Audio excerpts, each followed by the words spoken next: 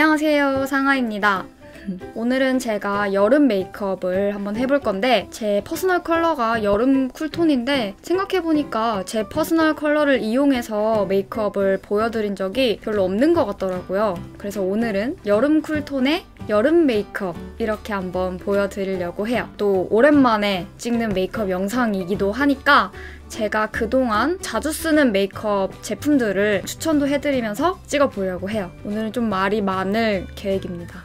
날씨가 진짜 많이 더워졌어요. 제가 선풍기를 이렇게 handy 선풍기를 하나 샀거든요. 스탠드도 같이 줘가지고 화장할 때 이렇게 책상에다가 딱 올려놓고 화장하면은 좋더라고요. 자, 일단은 제가 지금 스킨만 발라놓은 상태거든요.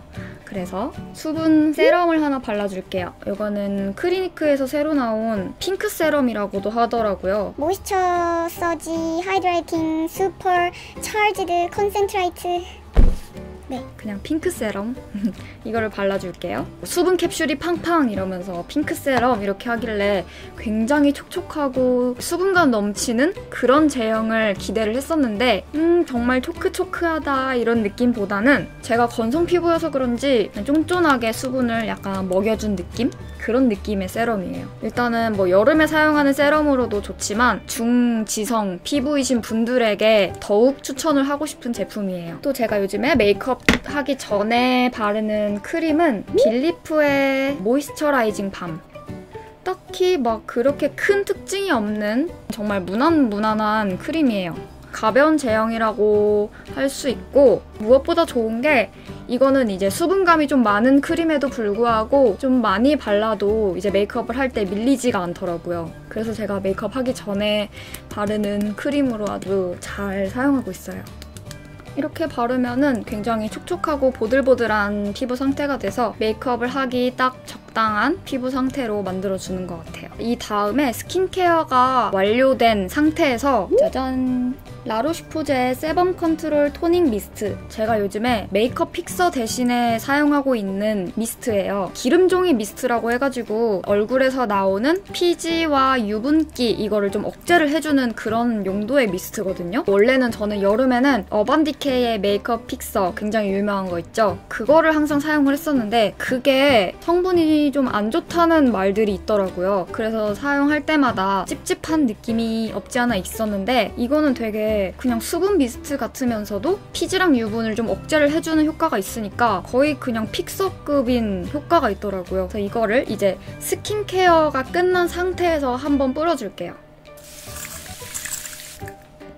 이게 분사력도 저는 되게 마음에 들더라고요. 수분 미스트 같이 굉장히 촉촉해요. 근데 이제 흡수가 되면서 얼굴에 유분기가 살짝 잡히는 느낌이 들어요. 진짜 신기해요. 자, 그 다음에 선크림. 여름용 메이크업에서 가장 중요한 단계이기도 하죠. 제가 여름용 선크림으로 자주 사용하고 있는 건 셀큐어 브랜드의 UV Perfection Daily Essence Sun. 제가 갖고 있는 선크림 중에 가장 만족스러운 제형이었어요. 저는 특히 여름용 선크림은 좀 자외선 차단 지수가 좀 높은 거를 사용을 하거든요. 근데 예전만 해도 자외선 차단 지수가 정말 높은 제품은 스포츠용 바디 선크림? 막 이런 종류밖에 나오지 않았었는데 요즘에는 또 이렇게 얼굴용 선크림으로도 자외선 차단 지수가 굉장히 높은 제품들이 많더라고요. 이것도 SPF 50 플러스의 PA 플러스 플러스 플러스 플러스 제품이에요. 장시간 외출을 해도 안심이 되는 그런 선크림이고 제형이 백탁 현상이 없는 유기자차에 가까운 그런 선크림인데 에센스 성분이 들어있어서 촉촉하게 발리는데 약간의 톤 보정의 효과는 살짝 있거든요. 이쪽이 안 바른 쪽이고 이쪽이 펴 바른 쪽인데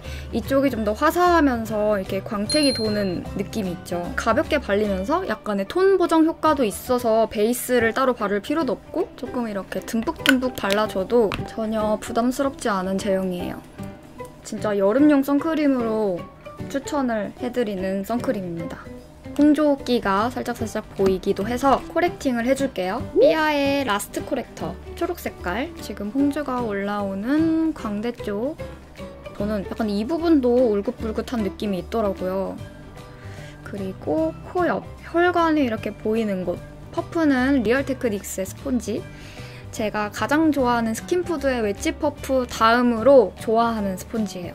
이거는 물을 적셔서 사용해도 되게 좋고 물을 안 적시고 사용해도 좋아요. 좀 물 안 적시고 사용하면 너무 딱딱한 감이 있거나 blending이 조금 뻑뻑하게 되는 그런 퍼프들이 있는데 이거는 되게 말랑말랑하기도 하고 밀도가 너무 그렇게 빽빽하게 만들어진 스펀지가 아니어가지고 물을 굳이 안 적시고 사용해도 굉장히 좋아요. 근데 오늘은 저는 물을 적셔주고 사용하고 있어요. 특히 여름에 더워서 이제 얼굴에 열이 많이 올라오기도 하잖아요. 근데 화장할 때 이렇게 스펀지를 차가운 물에다가 적셔서 사용을 하면은 약간 이제 cooling 효과가 있다고 하더라고요. 그래서 여름에도 이렇게 스펀지를 물에다가 한번 적셔서 사용하고 있어요. 오늘의 파운데이션 요즘 또 여름에 자주 사용하는 파운데이션은 Urban Decay의 Naked 파운데이션이에요 제 기억으로는 이 파운데이션 중에서 가장 밝은 호수를 샀던 걸로 기억을 하거든요. 이게 shade 0.5번 색깔이에요 제가 얼굴이 그렇게 하얀 편은 아니라서 살짝 밝은 감이 없지 않아 있는데 가장 밝은 호수치고는 다른 브랜드에 비해서는 약간 어둡게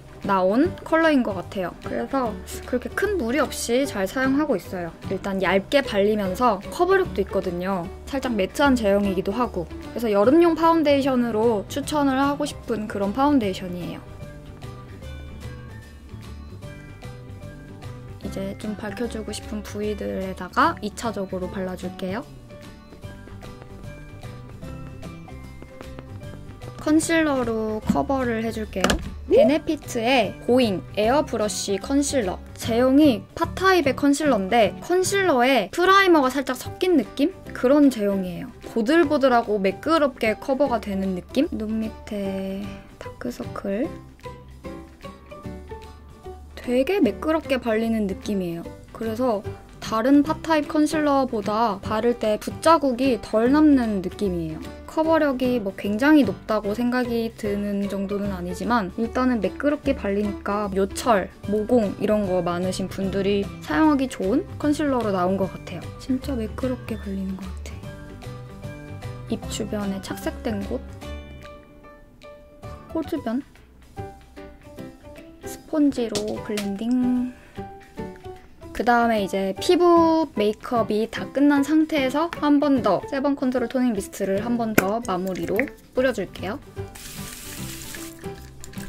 그 다음에 여름이니까 당연히 파우더 처리를 해줘야겠죠? 제가 또 자주 사용하는 파우더 루나의 pro photo finisher 2호 blur 파우더. 요즘에 파우더도 거의 이 제품만 사용하고 있는데 이거는 2호 blur 파우더라고 해가지고 약간 핑크빛 파우더예요. 그렇다고 얼굴에 발랐을 때 핑크빛이 심하게 느껴지는 제품은 아니고 제가 사용하면서 아 이거 약간 메이크업 포에버의 절대 팩트 느낌 난다 이렇게 생각이 들었거든요. 일단은 입자가 진짜 진짜 고와요. 주름 사이사이가 메꿔지면서 발리는 그런 파우더거든요. 피부를 좀 매끈하게 보송하게 잡는 그런 파우더 같아요. 가루가 좀 많이 날리기는 해요. 근데 일단은 입자가 고우니까 괜찮습니다. 먼저 눈썹의 유분기를 잡아주고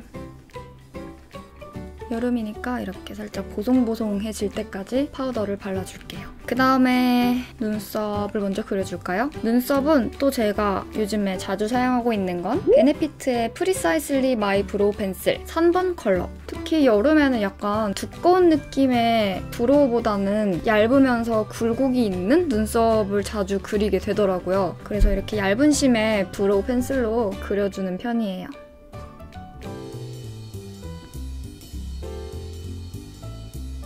한쪽 눈썹을 완성했고 반대편도 저도 왼쪽 얼굴과 오른쪽 얼굴이 좀 많이 다른 비대칭 얼굴이라서 눈썹 그리거나 eye 메이크업을 할 때 대칭이 완벽하게 이루어지게 화장을 하기가 진짜 힘들어요. 어렸을 때 제가 꼭 그렇게 한쪽으로만 누워서 잤대요. browcara는 홍콩에 있는 그 샤샤 매장에서 구입한 일본 브랜드의 데이킵이라는 브랜드라고 하네요. 밝은 ash 베이지 이런 컬러의 browcara예요. 조금만 눈썹 컬러를 밝게 맞춰줄게요. 이쪽이 바른 쪽이고 이쪽이 바르지 않은 쪽인데 그렇게 큰 차이는 아니에요. 약간 나만 아는 그런 차이점이랄까? 그래도 이런 사소한 차이점 하나하나가 메이크업 완성도를 조금이라도 높게 해주는 요인이 된다고 생각을 합니다. eye 메이크업 하기 전에 eye primer를 발라줄게요. 더샘의 샘물 eye primer. road shop의 eye primer 중에 가장 사용감이 좋은 eye primer예요. 저는 눈가 피부가 굉장히 얇고 주름이 그만큼 또 많아가지고 eye primer를 바를 때 뭉칠 때가 굉장히 많아요. 그래서 진짜 눈화장 망친 적도 여러 번 있었고 그런데 이거는 진짜 안 뭉치게 정말 가볍게 발리는 eye primer예요. 그래서 이 eye primer도 추천을 해드리고 싶어요. 그 다음에 이게 eye primer지만 살짝 끈덕끈덕한 느낌이 있거든요. 파우더로 잡아주고 섀도우 단계에 들어갈게요. 첫 번째 섀도우는 삐아의 shade and shadow 모테 lovely 컬러예요. 바르기 전에 이렇게 봤을 때는 복숭아빛 핑크색으로 보이거든요. 근데 이제 눈 위에 직접 올리면은 핑크 브라운 빛의 음영 컬러예요. 더워 보이지 않는 가벼운 pinky한 브라운 컬러여가지고 여름 cool tone이신 분들이 가볍게 음영 잡기에 좋은 컬러예요. 이렇게 눈두덩이 전체에 넓게 넓게 음영으로 잡아줄게요. 언더라인 전체에도 이 색감으로 음영을 잡아줄게요. 삐아의 flush shadow 사랑해 봄 이게 사실은 쿨한 계열의 색깔은 아니거든요 골드색이 shimmer하게 깔려있고 coral 핑크 같은 그런 색인데 너무 쿨한 색, 쿨한 색, 쿨한 색 다 이렇게 맞춰서 화장하면 좀 촌스럽은 느낌이 들기도 하더라고요. 이 색깔로 shimmer하고 coral 느낌을 살짝만 더해줄게요. 중간 부분부터 올려주면서 전체적으로 퍼지면서 금빛 컬러감이 너무 진하지 않아서 여름 cool tone이신 분들도 부담 없이 사용할 수 있는 그런 coral 계열의 섀도우 같아요. 눈 밑에 언더라인에는 눈동자 바로 밑에 중간 지점이랑 앞부분까지만 이어서 발라줄게요. 음영은 삐아의 flush shadow 슬퍼해 봄 ash purple 이런 색이에요. purple기가 조금 강한 그런 음영 컬러인데 끝에서부터 눈이 끝나는 지점에 사선 방향으로 영역을 살살살살 넓혀가면서 이렇게 음영을 넣어줄게요. 언더라인 부분은 이거는 중간 지점부터 끝까지 자 이렇게 약간 보랏빛으로 음영을 넣어줬고 마지막으로 한 번 더 음영을 잡아줄게요. 에뛰드 하우스의 카페오레 젤리 컬러예요. 살짝 진한 카페라떼 같은 색인데 이걸로 이제 아이라인 쪽 음영을 마지막으로 넣어줄게요. 그리고 특히 저는 이 컬러를 요즘에 언더라인 쪽에 발라주면 진짜 예쁘더라고요. 너무 진하지도 않고 deep하지도 않은 컬러여가지고 속눈썹을 curling을 해준 다음에 아이라인을 그려줄게요. 오랜만에 꺼내본 아이라이너예요. 일본 브랜드의 아이라이너인데 구입을 한 지 좀 오래돼가지고 살짝 굳은 것 같아요. 눈꼬리는 너무 올라가지 않게 살짝 처진 느낌으로 그려줄게요. 언더라인도 살짝 트여 보이는 효과를 줄게요. 뒷부분을 일직선으로... 아, 지금 이 아이라이너가 좀 굳어가지고 매끄럽게 안 그려져요. 이거 말고 에스쁘아의 Bronze Painting Waterproof Eye Pencil 아까 음영 컬러로 사용했던 브러쉬로 그 다음에 속눈썹을 붙여줄게요. 아리따움의 아이돌 래쉬 6호 데일리 이거는 대용량이어가지고 세 쌍이 들어있는 제품이에요. 한 쌍으로도 팔고 이렇게 대용량으로도 나왔어요. 자 이런 모양의 속눈썹인데 저는 이렇게 통짜로 속눈썹을 붙이게 되면은 정말 티나고 부자연스럽더라고요. 그래서 이렇게 통짜 모양의 속눈썹도 세 등분으로 잘라서 붙여주는 편이에요. 삐아의 Last Pen Eyeliner Sharpen Brown 컬러로 풀의 희끗희끗한 부분을 가려주고 점막도 같이 채워줄게요. 데자뷰의 Fiber Wing Extra Long Mascara. 이 마스카라는 뭐 curling도 잘 되고 되게 자연스럽게 발리는 마스카라긴 한데 fiber가 들어있는 마스카라 치고는 볼륨감이 너무 없어요. 그래서 제가 속눈썹을 붙였을 때 그럴 때 사용하는 마스카라로 쓰고 있어요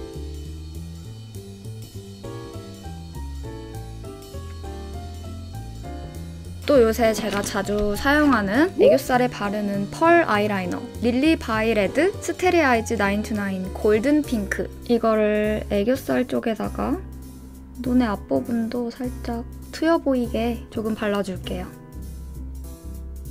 빠질 수 없는 contouring을 해줄게요. 콧대 shading은 에뛰드 하우스의 Ginger Milk Tea. 저는 코 shading에는 이거만한 색감이 없더라고요. 자연스럽게 음영을 넣어줄게요. 얼굴 윤곽 shading은 삐아의 Last Blush Almond Blossom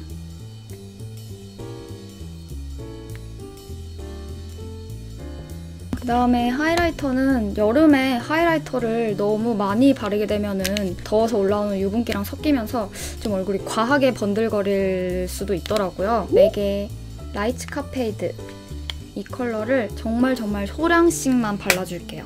콧대를 높여주고 이마 중앙이 톡 튀어나와 보이는 효과 여기 관자놀이 부분이 살짝 꺼져 있어가지고 이 부분도 살짝만 밝혀줄게요. 코끝 살짝만 하고 입술 산, 턱 끝 오늘의 블러셔는 나스의 게이어티를 발라줄 거예요. 화면에서는 조명 때문에 너무 밝게 보이는데 쿨톤의 대표적인 블러셔 중에 하나죠. 눈이 끝나는 지점의 바로 밑부분부터 살짝 뒤집어진 삼각형 모양으로 근데 제가 이게 손이 좀 안 가는 이유가 있었던 것 같아요. 바르면은 이게 더운 느낌의 핑크색으로 올라오거든요. 아마 제가 볼 쪽에 홍조도 좀 심해가지고 그런 것도 있는 것 같아요. 그래서 지금 약간 볼 쪽이 더운 느낌이 있어서 어퓨의 파스텔 블러셔 VL01 라벤더 컬러의 이 blusher를 살짝 덮어줄게요. 입자도 너무너무 고와서 전혀 뜨지 않고 진짜 자연스럽게 발려요.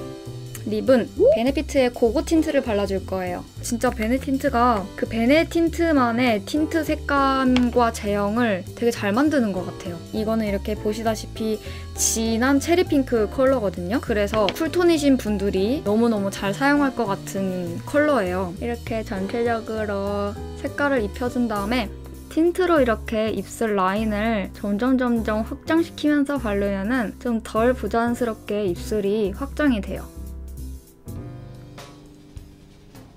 그 다음에 입술 라인을 경계를 살짝 모호하게 풀어줄게요. 맥에 맥에 Huggable 라인의 Fashion Force 컬러거든요. 제가 예전에 daily lip으로 진짜 많이 사용했던 립스틱인데 약간 쿨한 coral빛으로 나와가지고 cool tone이신 분들의 coral 립스틱으로 추천을 해드리고 싶은 색이에요. 마지막으로 입술 중앙에 한 번 더 Gogo Tint로 발라서 마무리를 할게요.